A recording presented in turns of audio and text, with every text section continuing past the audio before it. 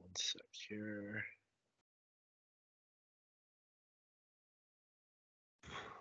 Perfect. All right, we're good to go. All right, welcome to the latest episode of the Big Hair Big Licks podcast. On the podcast today, I have the almighty, the powerful Matt. Matt Derraugh. Yes, sir, I am here. I'm, I go by many names. Besides that, I've gone by Zebo. I have gone by, I've gone by Darog. But tonight, I simply go as until the next time I do an interview, the ratings. Right on That's what we're doing tonight.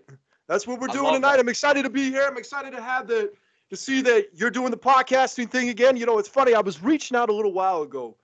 I, I put up a post on Facebook saying, "Does anybody do podcasts?" Because I had done one with um, I'm not sure if you know the Funky Moose guys. So Joel Godet and, and Mark Poppin. I did with done did one with them a year ago. yeah. Those guys out in Saskatchewan, and I was Yeah. like, man, I wish I could do some more. And I put this up like, does anybody do podcasts? And I was thinking like, you know what, man, let me delete this because I don't beg for nothing. I just take it. I don't ask for anything. I'm not put, you know, you know, whatever. Soon after that, you reach out to me. I'll start the podcast up. You want to do this? There you go. Hell yeah, manifestation. I love that attitude too. Like I got a whole bunch of books about that over there on that shelf. I understand the concept well. it's it's a very real thing. It really is. Um, well, I just want to say I really uh, appreciate you taking your time to do this today. Uh, so let's just kick right uh, right into it here. I want to ask you, um, how did you get your start in music? Because you are a phenomenal drummer. Uh, is is your family musical? How did how did you get your start into uh, playing music? Well, here's the main thing, right? So, my parents are a consultant and a teacher. But my grandfather, Orville Derraugh, he was a renowned music teacher, pianist, scholar, et cetera, et cetera. The only thing is, I never really got to know him because he died before I was two. But my cousin Connor and I, my cousin Connor, if you don't know him, he's a pretty renowned jazz musician in the city. He's actually going to be releasing a, a an album, a joint album pretty soon, which I did a couple lyric videos for. So my belief, since we're talking about manifestation on the spiritual stuff, is that this his musical talent and his abilities skipped a generation. They passed through the ether to us. But as far as what can I say for myself besides that, I would say around the year 2000 when I was just a waif. Um, if there was no really any big bang moment where it was like I heard some song, I heard some album or anything, and like this is what I want to do. It was just more something that was just innately there. Like I would just, I'm always pressure seeking. I need to release, so I'm just always doing this kind of stuff. Damn near everything that I do is just rhythmic, even down to the way that I speak, the way that I just go about a, a bunch of certain things. And my parents, my grandparents, well, my grandmother at the time, she was just noticing that all of a sudden this kid is just doing all these things rhythmically, just banging on the kitchen and the pots and pans, all this stuff. Get him a drum kit. They bought me a drum kit around the age of five. And that was basically it from that point. You know, started taking lessons until I just figured that I just wanted to to really just do this myself. And you know, it's not that I'm necessarily unteachable. It's more that I just felt that I was more productive in just doing this stuff and figuring it out on my own. Plus, with like YouTube, you can just you can find anything you want to know, study anything you want to know. I'm not as good on sheet music. I'm more I'm more of just like a, a visual audio learner anyways. That's how I usually go about things. So that's about it. Well, that's fantastic. That's that is super cool to hear that you've been playing since you were five. And I was actually going to ask you if you were related to Connor because uh, we did um, uh, the Alex D tribute years ago, and Connor was playing uh, playing Mhm. there, and I met him. Uh, such a nice person. Uh, uh, very cool to see that to see that you guys are related there. Um, now, growing up playing drums, uh, and and I totally relate to that kind of uh, teaching yourself at a certain point, uh, and and just kind of finding your own style. What drummers influenced you growing up? Who who are some of your heroes? it took me a while to really have any particular influences. I mean, it was just okay. Let me just go ahead and say this. I would say over the years, there's been a few. I picked up picked up tips from Chris Adler. I picked up tips from Gene Hoglan or Joey Kramer or, or Bonzo, of course. I mean, there's a few. I've actually been, and I'll get into the details of this at a later date. I've been doing a lot of Rush and working with a lot of Rush recently, and a lot of the Neil Peart stuff. Neil Peart, excuse me, has been really rubbing off in that way. But man, uh, it is quite a whole lot of work to to really get all those little nuances and stuff down. I will say that. For sure, yeah, no, hundred percent. Uh, well, that is awesome. I definitely hear a lot of uh, a lot of those influences that you that you stated there in in your playing for sure but you've got your own style which is super cool. So like as you started teaching yourself going through the years um, learning and learning uh, how did you start playing in bands? Uh, we'll, we'll get into the bands that you play in right now but uh, like what were some of your first experiences with playing music live? Well here's the funny thing right? So and this this is going to be very interesting. So speaking of connor so let's say about high school. Well, actually, even before that, let's take it back to middle school. I auditioned a couple of times at River Heights School for for the jazz band. Well, once didn't get in. Kelvin Jazz Band, I did, and then I did again, and then the next year uh, I didn't. Well, they they offered me the junior band instead of a senior band, but the guy who got the senior band was younger than me, which made no sense. So I just went off and did some other gig anyway. But around that time, so Connor, as I said, he's all into jazz. He went through the U of M jazz program, and every year they had the University of Manitoba Jazz Camp in late August. And so I went there for four years and then with Connor, and I got ingratiated. I learned a lot through that, you know, just just the clinics and other stuff that they would do. And and they got this at Park Alleys now on Tuesdays. It's probably happening right now as we speak. They had the Nicolinos Wednesday, cool Wednesday night hang. You'd have the whole jazz faculty come down there. They would like all the profs would do a set first, and then everybody would get up and jam and that's where I really just cut my teeth learning that kind of stuff. I mean, I'd always done the rock and all that stuff before, but this is just more of an adventure to sophisticate my abilities just in the jazz realm. But then over time, like I, I wasn't necessarily even a jazz really jazz reader. Like my cousin could read music, but there's a difference between people that are just by the book. It, it didn't really come natural to them, and they just really got to learn it that way. And people that are just it's, it's just there. It's just inside you. And I think that's the case, like I said, with with Connor and I, and the profs certainly noticed that. And you know, over a while, I just learned how to groove. I learned how to swing. I learned how to do all this, and, you know, just improvising and comping and just being in conversation with the rest of the instruments, which which helps a lot more. And for any musician who's looking to improve their chops, I would certainly recommend that, you know, going to something like that, or at least going down to the park alleys hang and doing all that. But, you know, well in the midst of that, after one year with with Connor, and with a, a couple other guys from from Kelvin High School, which I was at, I formed my first band, which was actually a like a jazz ensemble, jazz fusion. We called it Faz Fusion. We played we played at the Kelvin Class Act. We did a we did a couple of we did um yeah we did a couple of gigs at coffee houses and stuff like that we did one of the Vincent Massey coffee houses. A whole bunch of Kelvin people came through, and then all of a sudden they just restricted it to Vincent Massey because you know, it just no, it's only us. And then I took liberty to do three songs at a coffee house one time, and then all of a sudden there was a limit for two. So I'm responsible for a whole bunch of rules and uh, being implemented and shit like that. But you know, back to the point. So that was my first thing that I did. And then my buddy John Seaburn, who I jammed with from Kelvin High School, we were doing some stuff for a while. And then right around 2017, when I started transitioning from the jazz world into this little circle, this little scene that we got right now, you know, I started meeting everybody coming around. My next beat, my next bit was these guys right here. I put on an Attica Gigi, and I was just basically like, okay, here's I in speaking of manifestation, I wrote down like a whole list of stuff that I was looking to find in a band. I put this out there and then I put a Kijiji ad in. When I came back and I started jamming with these guys, Twangbomb that is, for those that don't know, I made these jerseys. so they really fit a lot of the qualifications of what I was looking for in a band, or let me not even say qualifications because it looks like I'm demanding. No, I'm just it, just the the image of what I had, what I wanted in a band. It seemed to be really fitting. And you know, we're we're still going strong since, and we're actually in the middle of. I haven't told this any, to anyone yet. We're in the middle of making our first album, which is, you know, we've been trying to do that for quite a while, and we're just now getting around to it. So that happened there, and then in 2019, I joined Ash and the Arsonists. I joined a cover band around the same time, and in just the other month in March, I joined something else, and I'm sure we'll get into that in just a second. You know what I'm talking about. A hundred percent. We were. That's right. awesome. We'll we'll definitely get into uh into what you just mentioned there, and uh, I appreciate you dropping that. Uh, uh, gonna be a lame joke here, but that that bomb about the uh, first record there, that is awesome. Mm-hmm. I I love your post. It's the year of the bomb. Uh, yeah. let me just say one more thing. right around the turn of this last year, we almost quit. The two main guys, Chase and Marlon, they were like, you know what? Let's just do one more packing in, whatever, whatever. Matt Curry, who's our bassist and the guy who, and let me give a shout out to him. He's been producing and engineering the whole thing. We've just been doing this ourselves out of Chase's garage.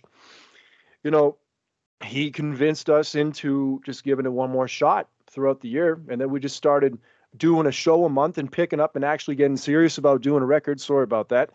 And then all of a sudden, we were just like, you know what? It's the year of the bomb. I can't remember. I think I might have come up with the slogan or whatever, but anytime, any hashtag I can use, anything for social media, like, boom, just throw it out there. And this just became the mantra. I mean, are we going to do this? Yes, we are, because it's the year of the bomb. And that's the, the attitude that we've had through the whole time, really. Hell yeah, I, I love that so much, and that's the perfect segue into the next thing I wanted to uh to talk about. Um, we'll talk about the other thing you mentioned at the end there a little bit later. Um, but uh, one thing I wanted to just kind of talk about, and this will segue into uh, the Collaboseason. Um, yeah. But man, the one thing I admire just as much as your drum uh, drum skills and and musicianship is your hustle and grind. Like you, I don't think I've really ever seen anybody uh, hustle and grind at their craft and, and promoting and, and putting stuff out there like you do. Like uh, with the Collaboseason, I mean, shows you've got, like you really put in the hard work. And uh, mm. it, it's one of those things where I think, I, I don't think you can learn that. I think that's always in you.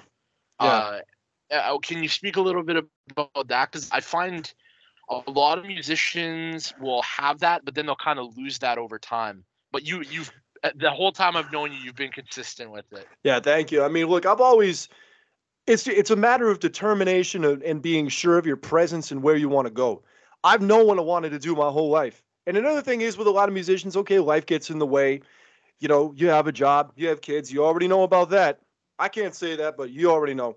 But you know, there's things that get in the way there, and it, it sort of obstructs that or you know obstructs the direction that you might be going or it just sort of diverts your attention to other things that may be more prescient. But with me it's just like i'm determined i'm focused and i know what i have to do to you know to go the distance. Like the one thing is i don't know if you ever read this book right here.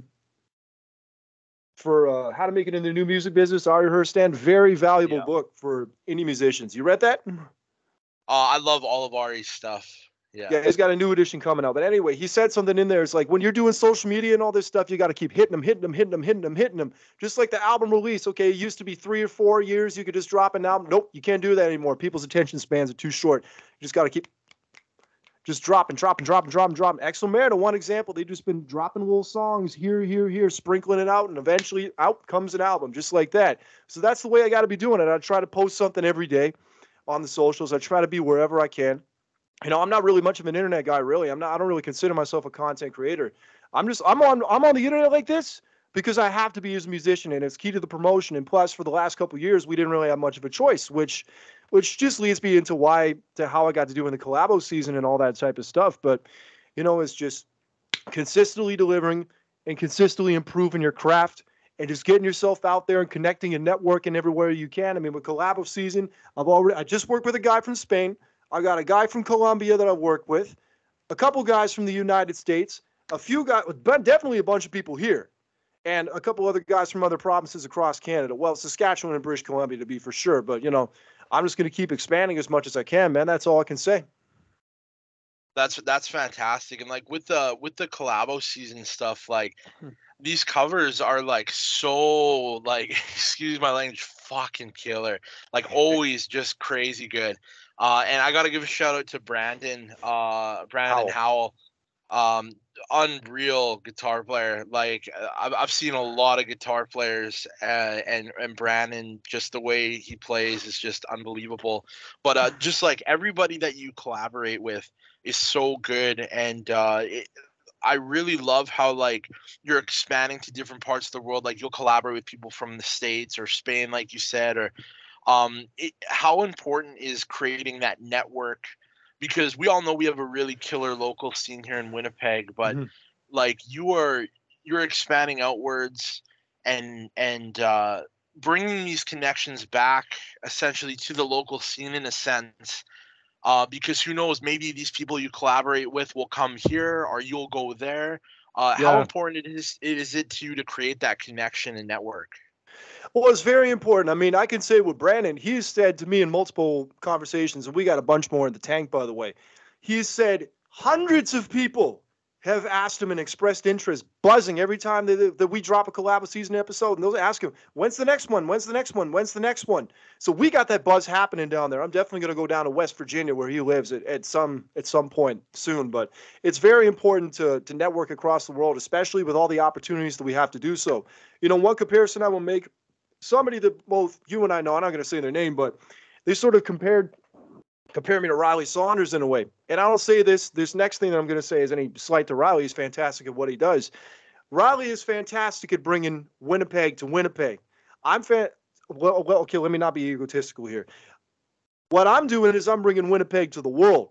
So it's just like you're bringing. Okay, you're you're giving all these other people exposure. Well, I'm reaching out and showing you all these all these people from here, from this spot, from that spot you know, many people have just like you have said, like, okay, who's that guitar guy that you played with down in the states? Oh, the Brandon guy.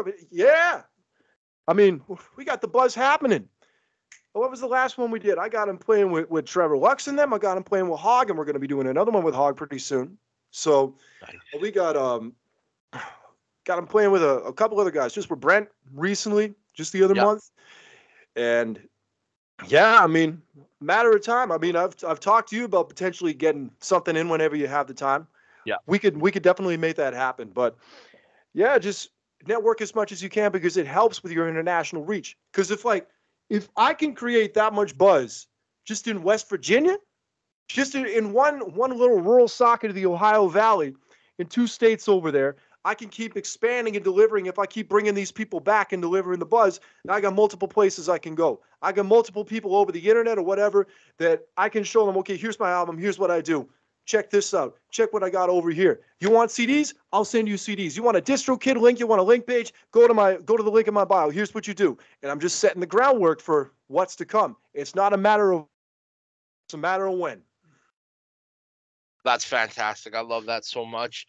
Um, now, uh, going back a little bit to the uh, the local scene there, uh, can you speak a little bit about uh, about how important the local scene is to you? Like, I really love and appreciate uh, how, um, and and I'll just say outright, like ever since becoming a dad, it's been harder for me to get out to to shows and mm-hmm. stuff uh, naturally. Yeah but uh like i noticed that you're at every local show you can go to uh you you support everybody.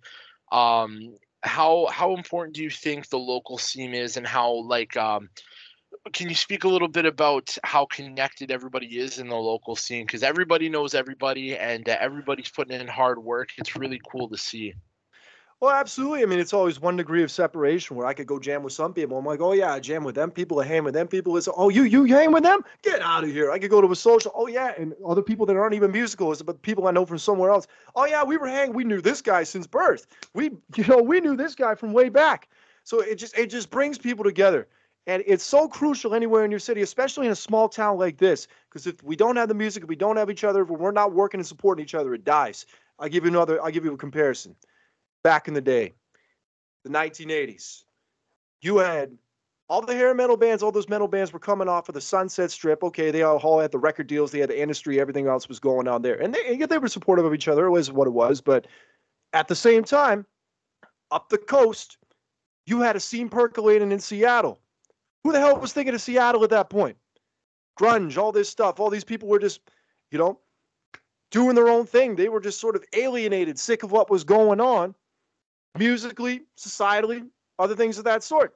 And they were their own little tight knit community.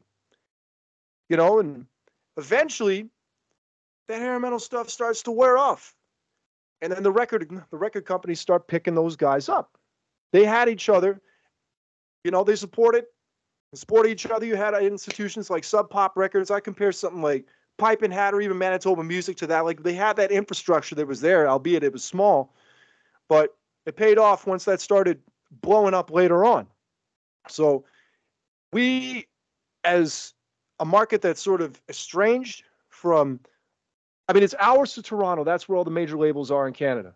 It's hours even more to Los Angeles, to New York, to Nashville if you're a country artist.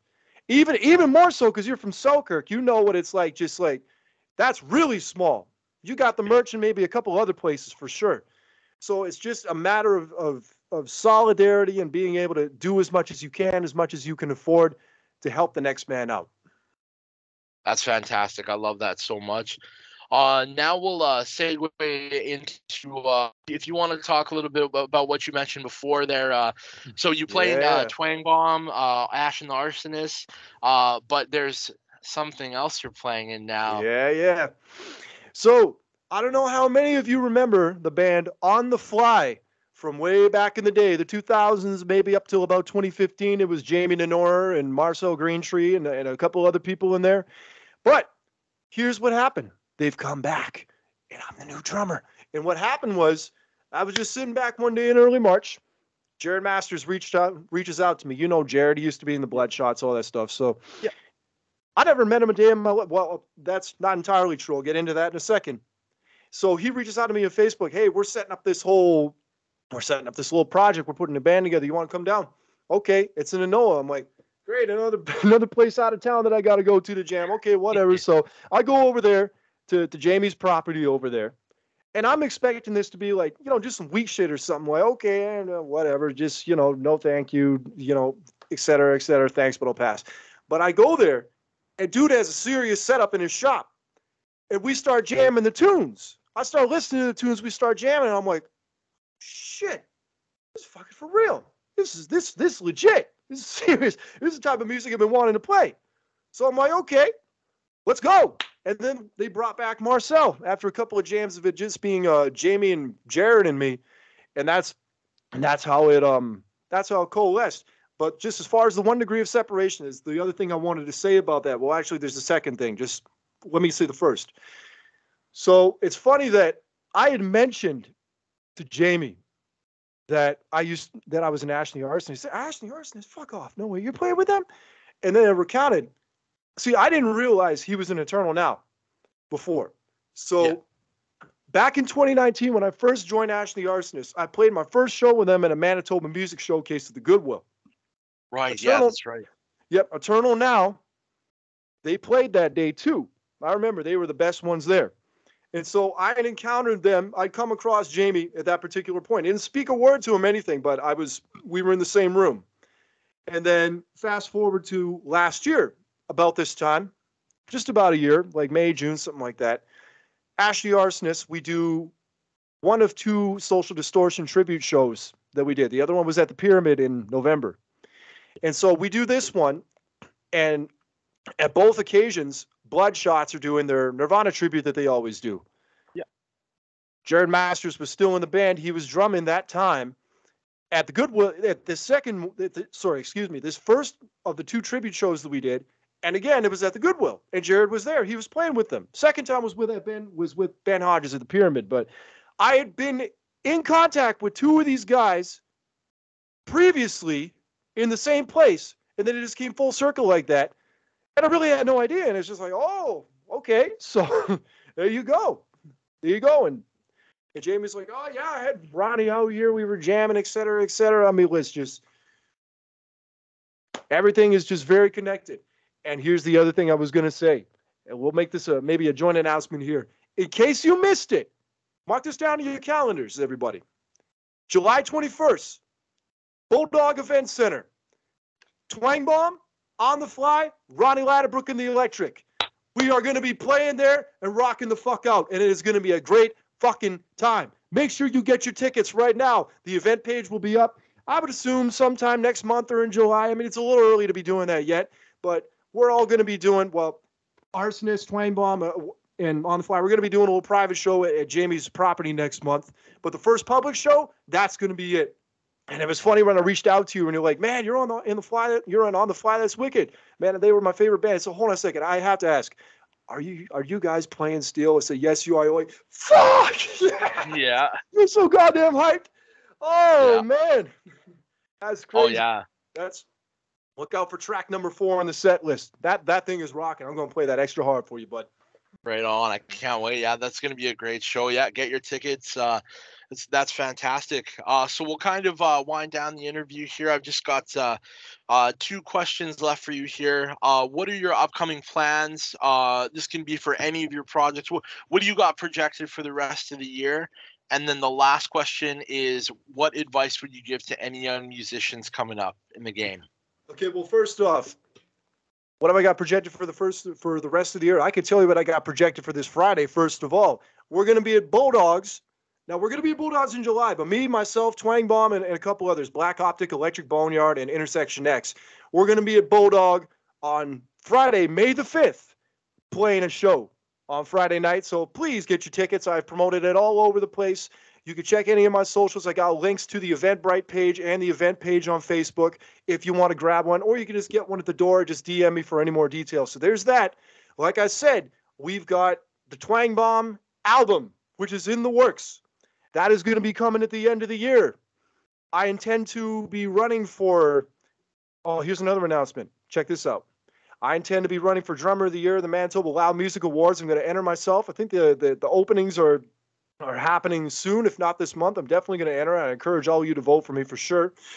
And besides that, Ash the Arsonist, I don't know about EPs or albums, but I know that we definitely got another track coming out. We've been working over there with with Len from Bedside, and shout out to Jem Munoz as well for the production assistance. Thank you very much. So we got some other things we're going to be working on, maybe working on some other people with some other tracks there. And as far as on the fly, we're just Oh yeah, Arsonist, we're just trying to figure out more shows and stuff like that. And Twangbomb, we were sort of negotiating, talking with a talking with a couple other bands that you may know about doing this, doing that. I mean, nothing is confirmed, so I won't say anything as of yet. On the fly, we're just looking for shows and stuff that we can do and just definitely getting out there. And you know, that's about it. And just keep keeping cranking out the Collaboseason episodes as well. I got about six episodes right now that are just in the queue. I really need to get back to it. I haven't been prioritizing it as much because I got all this live stuff going, but I've been trying to get one out a month for sure. One a month, one a month, one a month, one a month, just doing like that at the very least. You know, I used to go on marathons and just get tired after five or six. But anyway, there's all that happening for right sure. All right, something else I said, something else we are going to say, but I kind of forgot. But let me just get to the last question then. So I would just say to anyone who's aspiring in a career in music, whatever obstacles you may face, whatever comes your way, whoever doubts you, do not give up. Keep pushing. Keep being focused and following what you love, and you will find what you're looking for. If not that, you'll find what you're meant to be. Love that. Love that so much.